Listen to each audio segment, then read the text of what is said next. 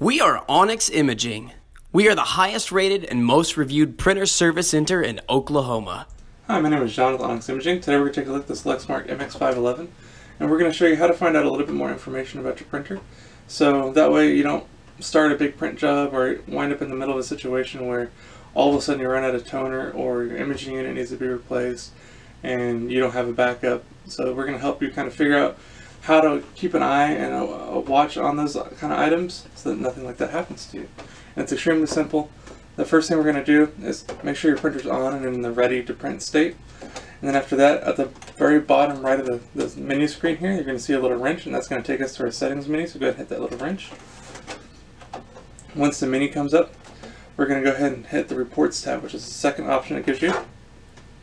And then after you hit that, you're going to see, again, it's going to be the second option. There's going to be an option for device statistics. So go ahead and click on device statistics. And this is going to print out a couple different pages. There's going to be a lot of information as far as uh, a lot of statistics on your device. Um, so it's going to give you uh, page counts and just a lot of different information about your printer. But there's a couple things that most people find very helpful. So most of those are going to be located on the second page. And so once you look at the second page, you'll notice there's three different status bars. The first one's going to be for your cartridge, so for your toner cartridge, and that's just giving a good idea on that status bar is roughly how much toner is left inside of that cartridge. So it's again, it's a good way just to kind of keep an eye on where your toner levels are. So even before you get a low toner warning on the screen, you can kind of watch it and make, make sure that you're not going to run into any problems in the future. The second one in the middle here is actually going to be for your imaging unit which is the, the device that goes underneath the cartridge. Um, so again, that's another common item that a lot of people overlook and needs to be replaced as well. And it happens quite often where the imaging unit runs out and again, it never fails. It's always in the middle of a big print job. So this is just a good way to make sure that that doesn't happen to you. And the last one is actually for your maintenance kit.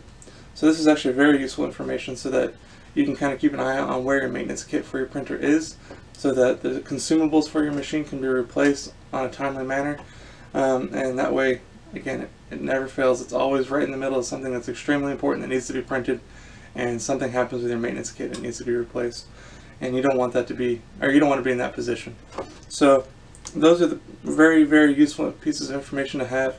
Again, it's extremely simple to print out just so you can kind of help keep an eye on it, where your printer at, where your printer's at, and just kind of help maintain it. Um, if you have any questions or concerns, please feel free to give Onyx a call. And if you need any toner or an imaging unit or maintenance kit installed, and feel free to give Onyx a call and we can help supply those for you. Other than that, you should be good to go and back in printing. Thank you. Thank you for watching.